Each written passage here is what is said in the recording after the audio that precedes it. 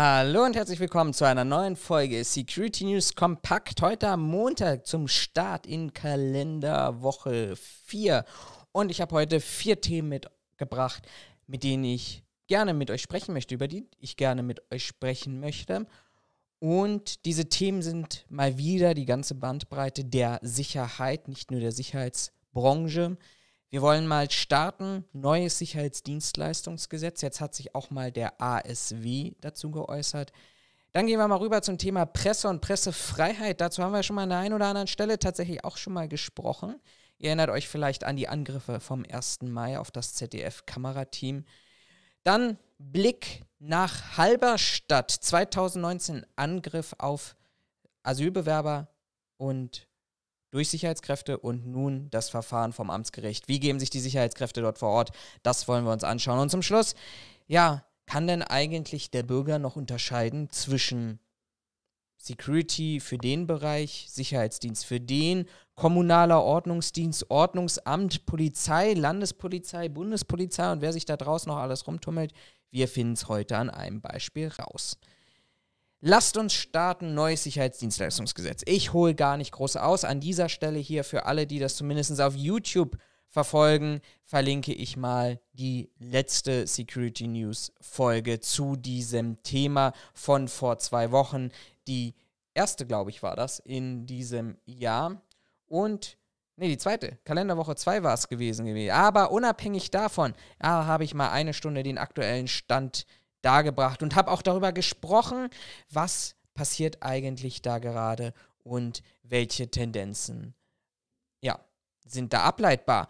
Und diese Woche hat sich auf oder bei Sicherheit.info der ASW geäußert, der Vorstandsvorsitzende, der stellvertretende Vorstandsvorsitzende vom ASW-Bundesverband Peter Bachus hat sich geäußert, was seine Erwartungen sind an das Sicherheitsdienstleistungsgesetz. Und jeder, der sich aufgeschrieben hat aus der Folge, aus der Sonderfolge, ähm, mit der großen Hoffnung und Erwartung, dass er die Wette gegen mich einlösen kann, die ich da aufgestellt habe. Ihr erinnert euch nochmal, so grob hieß es, wenn Unterrichtung oder Sachkunde und, und, nicht oder, sondern und Sachkunde abgeschafft wird, dann konnt, könnt ihr ein Wochenende gewinnen, das ich euch bezahle in irgendeiner deutschen Stadt, die ihr ein Interesse habt. Leider, leider, leider, wer da große Hoffnung geschürt hat, muss ich euch wirklich enttäuschen. Denn auch Peter Bachus sagte, naja, mit dem neuen Sicherheitsdienstleistungsgesetz wollen wir in der Branche tatsächlich die Weichen für die Zukunft stellen. Ich höre das so oft, man liest das so oft, aber am Ende des Tages sind dann die Sätze, die dann an zweiter, dritter oder vierter Stelle kommen, relevant. Er sagt weiter, deshalb sollten nicht die wirtschaftlichen Interesse einzelner Unternehmen in den Vordergrund stehen, sondern die Frage, von welchen Regelungen Branche, Staat, Bürger und Unternehmen gleichermaßen profitieren. Auch hier, zweiter Satz, kann man einen Haken dran machen. Natürlich kann ich jetzt nicht, wir müssen schauen, von wo kommen wir und wo gehen wir hin. Natürlich kann ich nicht an dieser Stelle jetzt hier anfangen und sagen, meine Güte, wir ähm, hauen jetzt die ganze Branche über Jordan und machen komplett alles neu und fangen in der Sicherheitsbranche bei Null an. Aber, und dann kommt der entscheidende Satz, eine pauschale Anhebung der Mindestqualifikation ist nicht zielführend. Das würde langfristig zu einer Verknappung an Bewerbern führen und damit zu steigenden Kosten für den Auftraggeber. Ja, also Wette gewonnen an dieser Stelle, muss ich leider sagen. Für alle diejenigen, ich hätte es euch gegönnt, aber wenn der BDSW es nicht möchte und der ASW nicht möchte und die Unternehmen, die da drin sind, das erst recht nicht möchten, dann wird das nicht kommen. Dann werden wir keine Anhebung der Mindestqualifikation haben. Dann wird der Paragraph 34a abgeschrieben ähm, und dann können wir dort an dieser Stelle einen Haken dran machen. Also von daher große Erwartung stecke ich nicht mehr an dieser Stelle in dieses Sicherheitsdienstleistungsgesetz hinein. Es wird so kommen, wie es ist. Es wird der 34a, meine persönliche Meinung, abgeschrieben werden. Ein bisschen drumherum. Inhouse-Bewachung wird dazukommen. Jeder klassische Werkschutz, den wir heute kennen, den wird es in der Zukunft so nicht mehr geben, weil man auch da wieder wirtschaftlich dran verdienen kann und will und möchte. Und von daher ähm, wird sich da nicht großartig ändern. Zu den Äußerungen oder zu der rein wirtschaftlichen Aufstellung des BDSW habe ich ja hier an dieser Stelle schon oft genug gesprochen. Kommen wir zur zweiten Nachricht. Und diese zweite Nachricht ist leider auch eine ganz traurige Nachricht. Deutschland, Grundgesetz, Pressefreiheit. Wir bringen das unseren Sachkundern, unter unseren Unterrichtern bei, was, was das eigentlich bedeutet, welche Bedeutung das für Deutschland hat und welche Relevanz das für eine Demokratie hat, wenn die Presse frei, ohne Angst vor Repressalien oder ähnlichen Konsequenzen berichten darf. Jetzt kann man sagen, ja, wir zeigen immer ganz großartig auf andere Länder mit den Fingern, lasst uns doch mal erst auf uns schauen. Und da gab es tatsächlich Zahlen der Bundesregierung, die jetzt veröffentlicht haben, nämlich die Attacken, dass die Attacken gegen die Presse in Deutschland 2020 extrem angestiegen ist. Ähm, mehr als doppelt so viele Angriffe soll es gegeben haben. Man spricht insgesamt von 252 Straftaten, darunter 22 Körperverletzungen, 33 Sachbeschädigungen, viermal Brandstiftung, mehr als 29 Mal Fälle von Bedrohung, Nötigung, Volksverhetzung, Raub, Erpressung und Propagandadelikte.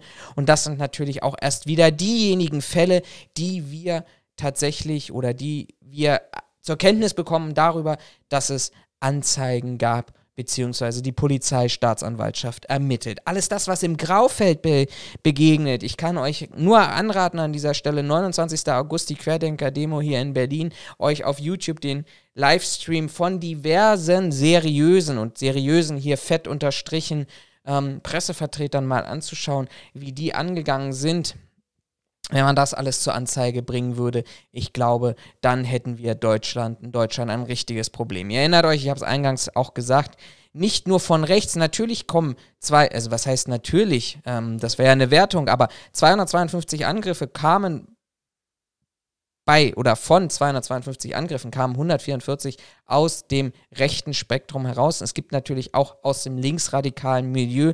Ihr erinnert euch, an der einen oder anderen Stelle haben wir schon darüber gesprochen und auf YouTube verlinke ich euch an dieser Stelle auch noch einmal tatsächlich diese, diesen Beitrag hier ähm, linksradikale Kräfte, linksextremistische Kräfte, sie äußern sich bis heute nicht dazu, haben ja das ZDF Heute Show Team am 1. Mai angegriffen in Berlin am Hackischen Markt. Ähm, also auch dort haben wir das, aber hier auch wieder ganz klar. Und es ist eigentlich scheißegal, aus welcher Richtung Presse, Medien angegriffen werden, die dafür sorgen sollen, dass wir ein konstruktives Bild haben, dass wir konstruktive Meinungen, Fakten dargestellt bekommen aus welchem Spektrum das bekommt. Erschreckend ist es, dass es zunimmt, offiziell zunimmt und auch gefühlt zunimmt. Wir hatten beispielsweise 2018 nur 93 Straftaten gegen Journalisten. 2019 waren es schon 104 und dann auf 252. Also wir haben dort tatsächlich eine Steigung, die, glaube ich, auch ganz ordentlich dafür spricht, was bei uns in der Gesellschaft gerade passiert, wie sich die Stimmung verändert. Und von daher glaube ich, sollten wir alle an dieser Stelle in, ähm, ja, für Grundrechte eintreten und das nicht nur selbstverständlich halten, wenn wir mit den Fingern auf andere Länder zeigen.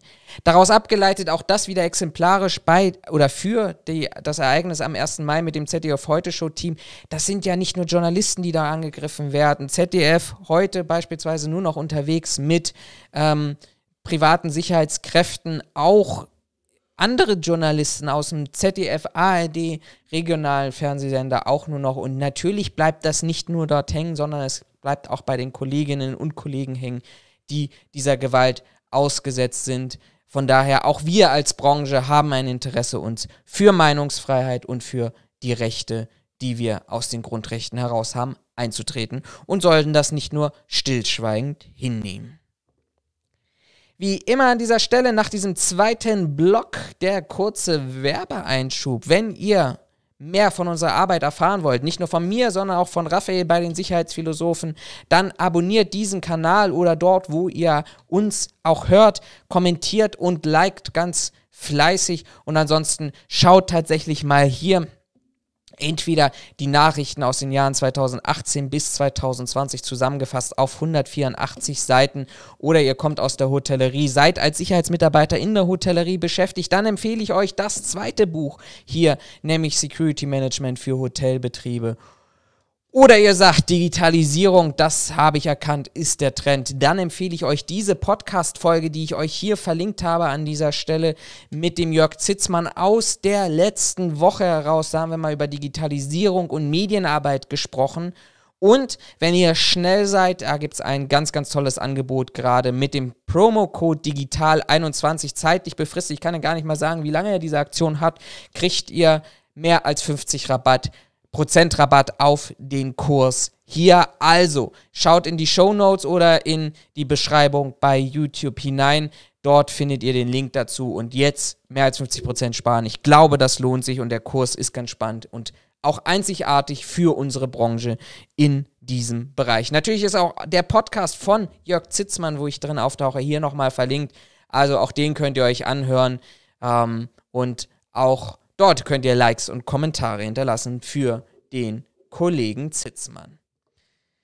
Ja, kommen wir wieder zurück zu den News und da schauen wir nach Halberstadt. Ihr erinnert euch auch darüber schon zig Male gesprochen. Es ist der 13. April 2019. Nach einer Auseinandersetzung unter zwei Asylbewerbern kommt es zu gewalttätigen Übergriffen von Sicherheitsmitarbeitern. Und hier an dieser Stelle, ich zeige es euch da gerade mal, das sind Videoausschnitte aus dem Video, was tatsächlich noch, glaube ich, knapp drei Monate gedauert hat, weil weder Landratsamt, ähm, zuständige Mediensender, Behörden, ähnliche hatten sich interessiert. Erst als dieses Video hier viral auf YouTube gegangen ist, schaltete sich die Staatskanzlei an und damit auch die Polizei und die Staatsanwaltschaft. Jetzt hat es knapp anderthalb Jahre gedauert. Äh, um die Person zu ermitteln, um die Täter zu ermitteln. Und die müssen sich jetzt vorm Amtsgericht in Halberstadt verantworten. Drei Angeklagte, drei Sicherheitsmitarbeiter im Alter von 34, 44 und 52 Jahren wirft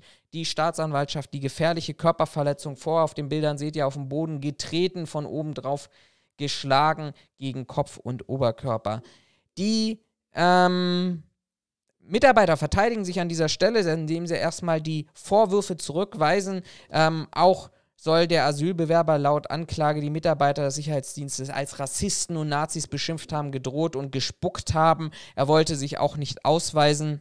Ähm, und dann sei es tatsächlich zu diesem ähm, Übergriff gekommen. Für mich keine plausible Erklärung, wieso, weshalb, warum das so kommen sollte. Ich bin mal gespannt, was das Gericht an dieser Stelle aufarbeitet.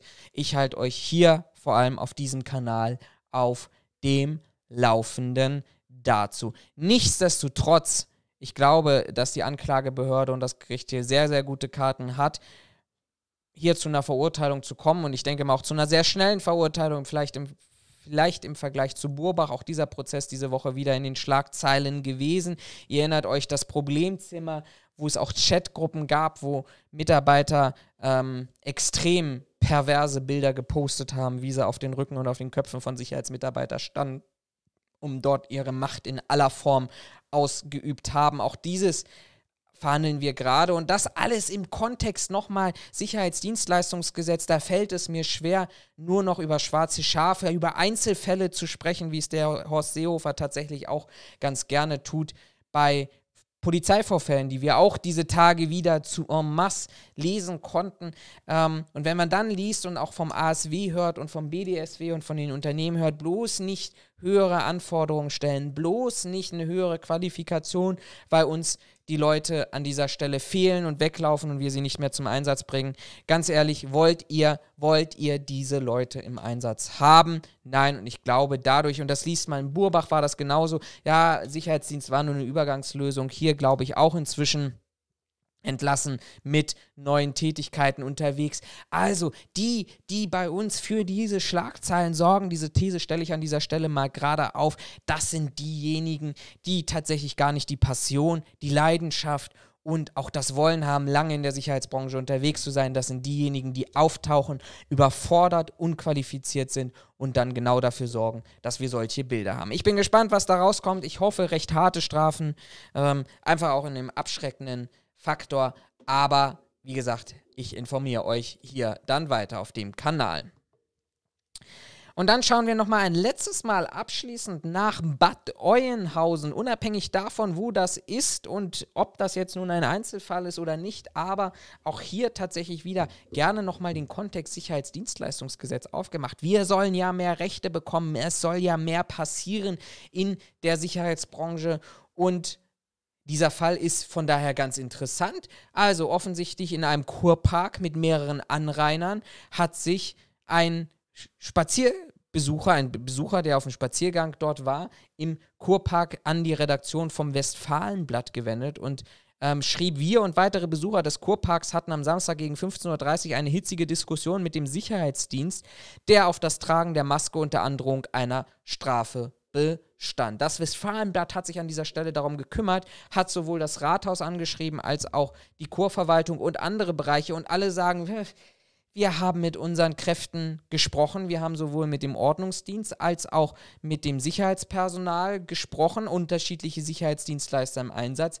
Alle sagen, wir sind es nicht gewesen. Unsere Leute haben nicht mit dem Personal, mit den, mit den Besuchern, mit dem Beschwerdeführer sich hier tatsächlich auseinandergesetzt. Und dann muss ich an dieser Stelle ernsthaft auch mal sagen, auch das ist eine Problematik, die wir zunehmend langfristig auch haben werden. Weil wenn der Bürger nicht mehr unterscheiden kann, mit wem spricht er denn da, der dort in welchem Auftrag eigentlich unterwegs ist, dann ist das, ist das wirklich, wirklich sehr, sehr problematisch matisch, weil Security sind wir alle. Wenn ich ein Problem mit einem Polizisten habe, dann kann ich mich an die Polizei bewenden. Wenn ich ein Problem mit dem kommunalen Ordnungsdienst habe, dann weiß ich da meinen Ansprechpartner. Aber wenn es dann aus welchen Gründen auch immer zwei, drei, vier, fünf, sechs unterschiedliche Sicherheitsdienste, alle mit Berechtigung möglicherweise, durch den Kurpark patrouillieren und nicht mehr unterscheidbar sind, dann ist das für einen Bürger ein Problem und dann müssen wir auch tatsächlich an dieser Stelle uns fragen,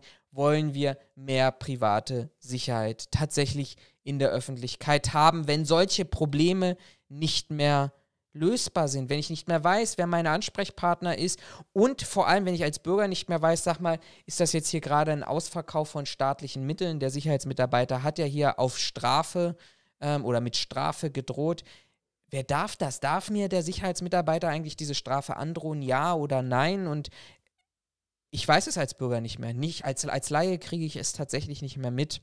Und das ist etwas, wo wir ein Problem haben. Hier ging es ja offensichtlich glimpflich aus. Jetzt lassen, stellen wir uns mal vor, es sei zum Übergriff, zum Schubsen oder ähnliches gekommen und man hätte es im Nachhinein nicht mehr aufklären können, weil man eben nicht weiß und einen Überblick verloren hat, wer tummelt sich denn dort eigentlich von den Privaten. Mal davon abgesehen, warum droht denn ein Sicherheitsdienst mit Strafe? muss man an dieser Stelle auch mal ernsthaft hinterfragen. Auch da wären wir wieder am Punkt der Qualifikation und auch am Punkt an dem, was wollen wir eigentlich.